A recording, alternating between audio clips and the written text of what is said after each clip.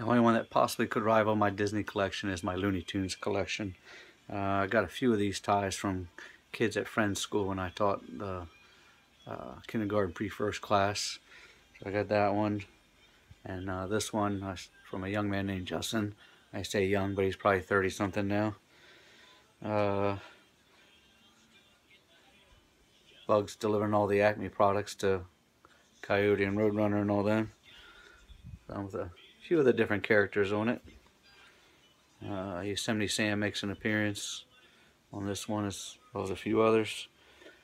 More of a sepia tone with different characters on it. Speedy Gonzales, one of my favorites from that collection, along with Tweety Bird, Argyle, and then I got Marvin Martian, Sylvester chasing after Tweety Bird. He's on there.